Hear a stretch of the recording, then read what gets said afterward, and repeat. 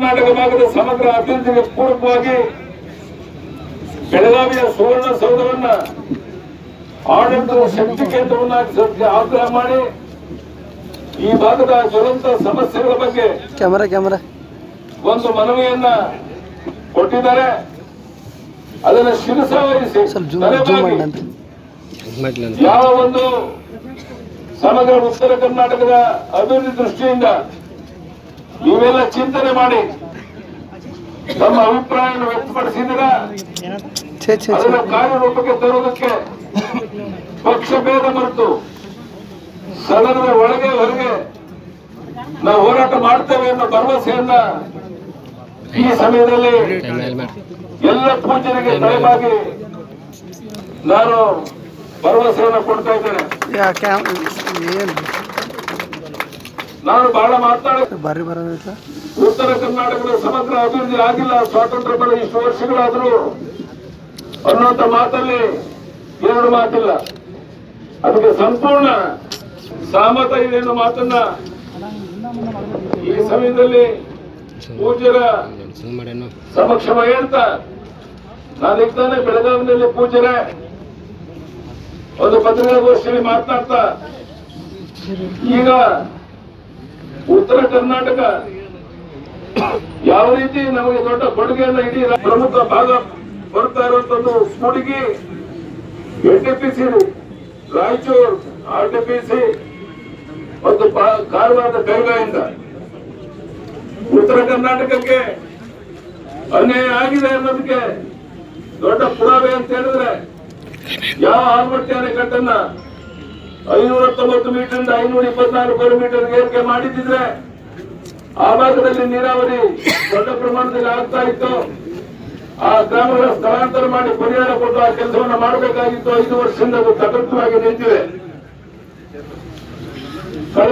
ತಾಳ್ಮೆಯನ್ನು ಪರೀಕ್ಷೆ ಮಾಡಿದ್ರೆ ಉತ್ತರ ಕರ್ನಾಟಕ ಅದು ಪ್ರತ್ಯೇಕ ಆಗ್ತದೆ ಅಂತದಕ್ಕೆ ಸರ್ಕಾರ ಅವಕಾಶ ಕೊಡಬಾರದು ಅನ್ನುವಂತ ಮಾತನ್ನ ಬಹಳ ಸ್ಪಷ್ಟವಾಗಿ ಹೇಳ್ತೀನಿ.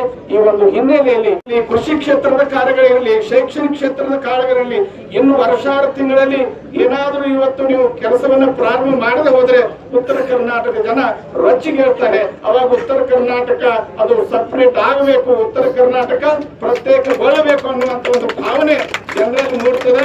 ಈಗಾಗಲೇ ಎಷ್ಟೋ ಜನ ಈ ಅನ್ಯಾಯವನ್ನ ಸಹಿಸಲಾರದಕ್ಕ ಧ್ವಜ ತಯಾರು ಮಾಡ್ಕೊಂಡ ಕುಂತಾರ ನಮ್ಮ ಜೊತೆ ಮುಖ್ಯಮಂತ್ರಿಗಳ ಜೊತೆ ಮಾತಾಡ್ತಾರೆ. ಮುಂದೆ ಬರಬೇಕಾಗಿ ಕರ್ಕೊಂಡು ಏನ್ ಮಾಡೋದು ಮಾಡೋಣ ಆದ್ರೆ ಅಖಂಡ ಕರ್ನಾಟಕ ಆಗಿ ಎಲ್ಲರೂ ಕೂಡಿ ಸ್ವಾಮೀಜಿಯವರು ಏನ್ ನಮಗೆ ಅಪ್ಪಣೆ ಕೊಡ್ತಾರ ರೀತಿಯ ಮುಂದುವರಿಯೋಣ ಹೇಳಿ ನಮ್ಮೆಲ್ಲ ವಂಚನೆ ಮಾತುಗಳ ಇವ್ರ ಜೊತೆ ಮುಖ್ಯಮಂತ್ರಿಗಳ ಜೊತೆ ಮಾತಾಡ್ತಾರೆ ಮುಂದೆ ಬರಬೇಕಾಗಿ ಕರ್ಕೊಂಡು ಏನ್ ಮಾಡೋದು ಮಾಡೋಣ ಆದ್ರೆ ಅಖಂಡ ಕರ್ನಾಟಕ ಆಗಿ ಎಲ್ಲರೂ ಕೂಡಿ ಸ್ವಾಮೀಜಿಯವರು ಏನ್ ನಮಗೆ ಅಪ್ಪಣೆ ಕೊಡ್ತಾರ ರೀತಿಯ ಮುಂದುವರಿಯೋಣ ಹೇಳಿ ನಮ್ಮೆಲ್ಲ ವಂಚನೆ ಮಾತುಗಳ ನಾವು ಕಳ್ಳ ಕರ್ನಾಟಕವನ್ನು ವಿಚಾರ ಐತಿ ನಾವು ನಮ್ಮ ಸಹಮತ ಕೊಡ್ತಾ ನಾವು ವಿಚಾರಗಳನ್ನ ಆ ಭಾಗದ ಅಭಿವೃದ್ಧಿ ಆಗುತ್ತೆ ಹೇಳಿ ವಿನಂತಿ ಮಾಡಿ. ಇಲ್ಲಿ ಎಲ್ಲಾ ಸ್ವಾಮಿಗಳು ಅವಾಗ ಸವಂಗ ಕರ್ನಾಟಕವನ್ನ ಅಭಿವೃದ್ಧಿ ಪಡಿಸುವಂತ ಕೆಲಸ ಮಾಡ್ಬೇಕಂತೇಳಿ ನಾವು ಒತ್ತಾಯ ಮಾಡ್ತಾ ಇದೀವಿ. ಇದನ್ನು ಮಾಡಲೇಬೇಕಾಗ್ತದೆ ಮಾನ್ಯ ನಮ್ಮ ನಾಯಕರಂತ ಯಡಿಯೂರಪ್ಪನವರು ಇನ್ನೊಂದು ದಿನ ಮೂರುವರೆ ನಾಲ್ಕು ವರ್ಷಗಳ ಕಾಲ ಮುಖ್ಯಮಂತ್ರಿಗಳಿದ್ದಾಗ ಈ ಭಾಗದಲ್ಲಿ ಸಾಕಷ್ಟು ಅಭಿವೃದ್ಧಿಗಳು ಮಾಡಿದ್ದಾರೆ. ಇವತ್ತು ಆರ್ನೂರು ಕೋಟಿ ಕಟ್ಟಿ ಸುವರ್ಣ ಸೌಧ ಮಾಡಿದಂಥದ್ದು, ಈ ಭಾಗದಲ್ಲಿ ನೀರಾವರಿ ಯೋಜನೆ ಮಾಡಿರ್ತಕ್ಕಂಥದ್ದು ಅಥವಾ ಬಾಣಾವಿಯಲ್ಲಿ ಇವತ್ತು ಒಂದು ಯೂನಿವರ್ಸಿಟಿ ಕೊಟ್ಟದ್ದು, ಇಂದಿಗೂ ಅವ್ರಿಗೆ ಚಾಲನೆ ಕೊಡುವಂತ ಕೊಡದೆ ಕೊಡದೇ ಇರ್ತಕ್ಕಂಥ ಸರ್ಕಾರ ಒಂದು ಒಂದು ಹೋಗ್ತಿತ್ತು ಆದ್ರೆ ಮುಂದೆ ಮುಖ್ಯಮಂತ್ರಿ ಬಂದಾರೆ ಇತ್ತು ಇವತ್ತು ಯೂನಿವರ್ಸಿಟಿಗೆ ಯಾವುದೇ ರೀತಿಯ ಅನುದಾನ ಕೊಡದೆ ಇವತ್ತು ಸುಧಾರಿಸ್ತಾರೆ. ಈ ಎಸ್ ಕೆ ಪಾಟೀಲ್ ಮಾತಾಡ್ಬೇಕಾದ್ರೆ ಬಿಡಿಸಿ ಹೇಳುವಂತ ಕೆಲಸ ಮಾಡಿದ್ದಾರೆ. ಬರ್ತಕ್ಕಂಥ ಕೃಷ್ಣ ಯೋಜನೆ. ಇವತ್ತು ನಮ್ಮ ಬಿ ಸ್ಕೀಮ್ ಬಚಾವ್ ತಗೋಬೇಕಾದ್ರೆ ನೂರ ಎಪ್ಪತ್ತೇಳು ಟಿ ಎಂ ಸಿ ನೀರನ್ನ ನಾವು ತಡೆ ಹಿಡಿದ ಈ ಭಾಗದಲ್ಲಿ ನೀರಾವರಿ ಮಾಡಬೇಕು. ಸಮಗ್ರ ಅಭಿವೃದ್ಧಿ ಉತ್ತರ ಕರ್ನಾಟಕ ಭಾಗದ ಹಾಗೆ ಆಗ್ತದೆ. ಅದಕ್ಕೆ ಇವತ್ತು ಏನೋ ಮುಖ್ಯಮಂತ್ರಿಗಳಿದ್ದಾಗ ನಾವು ಕ್ಯಾಬಿನೆಟ್ ಠರಾವ್ ಮಾಡಿ, ಕ್ಯಾಬಿನೆಟ್ ರೆಜಿಸ್ಟರ್ ಮಾಡಿ ಹೊರ ಬಂದಂತ ಜನ ಅದಾದ ಬಂದಂತ ಸಿದ್ದರಾಮಯ್ಯ ಸರ್ಕಾರ, ಇವತ್ತು ಕುಮಾರಸ್ವಾಮಿ ಸರ್ಕಾರ ಆ ಕೃಷ್ಣ ಬಿ ಸ್ಕೀಮಿಗೆ ಯಾವುದೇ ರೀತಿಯ ಮುಂದುವರಿಸುವಂತ ಕೆಲಸ ಮಾಡದೆ, ಯಾವುದೇ ಅನುದಾನ ಕೊಡದೆ ಇವತ್ತು ಸಾಕಷ್ಟು ಅನ್ಯಾಯಗಳನ್ನು ಮಾಡ್ತಾರೆ.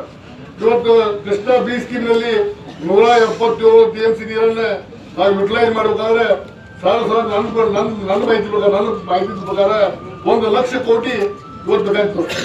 ಅಂದ್ರೆ ಒಂದು ವರ್ಷ ಪೂರ್ತಿ ಹಾಕಿಲ್ಲ ಒಂದು ಮೂರ್ನಾಲ್ಕು ವರ್ಷದಲ್ಲಿ ಪಕ್ಷಾತೀತವಾಗಿ ಒಂದು ನಿರ್ಣಯವನ್ನು ತೆಗೆದುಕೊಳ್ಬೇಕು. ಉತ್ತರ ಕರ್ನಾಟಕಕ್ಕೆ ಅನ್ಯಾಯ ಆಗಿದೆ. ಅದಕ್ಕೆ ಸರಿಪಡಿಸಲಿಕ್ಕೆ ಸರ್ಕಾರದಿಂದ ನಿರ್ಧಾರವನ್ನ ಎಲ್ಲರೂ ಒಗ್ಗೂಡಿ ಮಾಡದೇ ಇದ್ರೆ ಉತ್ತರ ಕರ್ನಾಟಕದಲ್ಲಿ ಹಿಂದೆ ಹೋರಾಟ ಏನ ಪ್ರಾರಂಭ ಆಗಿತ್ತು. ಹೈಕೋರ್ಟಿನ ಹೋರಾಟ ಸಂದರ್ಭದಲ್ಲಿ ಯಾವ ಶಾಸಕರು ಸಹ ಬರುವ ಪ್ರಯತ್ನವನ್ನು ಮಾಡಲಿಲ್ಲ. ಯಾವ ಮಿನಿಸ್ಟರ್ಗಳು ಬರುವ ಪ್ರಯತ್ನ ಒತ್ತಾಯವನ್ನು ಮಾಡಿ. ಉತ್ತರ ಕರ್ನಾಟಕದ ಸುವರ್ಣ ಸೌಧದಲ್ಲಿ ಇದು ಚರ್ಚೆ ಆಗಲಿ ಈ ಚರ್ಚೆ ಯಾವ ರೀತಿ ಆಗ್ಬೇಕಂದ್ರೆ ಸಮಗ್ರ ಉತ್ತರ ಕರ್ನಾಟಕದ ಎಲ್ಲ ಜಿಲ್ಲೆಗಳಿಗೆ ಐವತ್ತಾರಿಂದ ಇಲ್ಲಿಯವರೆಗೆ ಏನು ಅಂಕಿ ಅಂಶಗಳಿವೆ, ಏನು ಮಾಡಿದ್ದಾರೆ ಕೆಲಸವನ್ನ, ಆ ಅಂಕ ಅಂಶಗಳನ್ನ ಕೊಡಬೇಕು ಮತ್ತು ಉತ್ತರ ಕರ್ನಾಟಕದ ಸಮಗ್ರ ಅಭಿವೃದ್ಧಿಗೆ ತೀರ್ಮಾನವನ್ನು ತೆಗೆದುಕೊಳ್ಬೇಕು ಎಂದು ಹೋದ್ರೆ ಉಗ್ರವಾಗಿ ಹೋರಾಟವನ್ನ ಮಾಡುವ ಕಾಲ ಬಂದಿದೆ. ಅದಕ್ಕೆ ನಾನು ಪದೇ ಪದೇ ನನಗೇನಾಗಿತ್ತು ಅಂದ್ರೆ ನಿನ್ನೆ ಮೊನ್ನೆ ಪೇಪರ್ ಹಾಕೋದ ಬರೋದನಾಗಿತ್ತು ಒಂದು ಹೇಳ್ತೀನಿ ನಿಮಗ ಉಮೇಶ್ ಕತ್ತಿ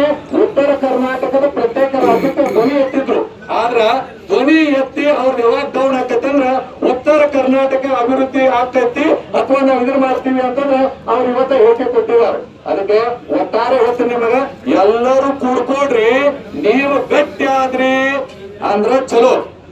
ನಮ್ಮ ಶಕ್ತಿ ಮೀರಿ ಪ್ರಾಮಾಣಿಕ ಪ್ರಯತ್ನವನ್ನು ಮಾಡ್ತೇವೆ. ನಾನೀಗ ಹೋರಾಟ ಮಾಡೋರ ಹತ್ರನೂ ಹೋಗ್ತಾ ಇದ್ದೇನೆ, ಅವ್ರು ಕೇಳ್ತೇನೆ ಆ ಪಟ್ಟಿಯನ್ನು. ಏನಾಗಬೇಕು ಈ ಭಾಗದಲ್ಲಿ ಅಭಿವೃದ್ಧಿ ಅನ್ನೋದು ಹೇಳಿ, ನಾವು ಅದನ್ನು ಮಾಡೋದಕ್ಕೆ ನಿಮ್ಮ ಜೊತೆಗೆ ನಾವು ಇದ್ದೇವೆ ಯಾವ ಕಾರಣಕ್ಕೂ ಎರಡನೇ ತಾರೀಕು ಬಂದು ಆಚರಣೆ ಮಾಡಿ ಗೊಂದಲ ಉಂಟು ಮಾಡುವಂತ ಪ್ರಯತ್ನ ಮಾಡಬೇಡಿ ಅಂತ ಕೈ ಜೋಡಿಸಿ ಪ್ರಾರ್ಥನೆ ಮಾಡೋಕ್ಕೋಸ್ಕರ ನಾನು ಇಲ್ಲಿಗೆ ಬಂದಿದ್ದೇನೆ. ಕೊಡ್ತೇನೆ.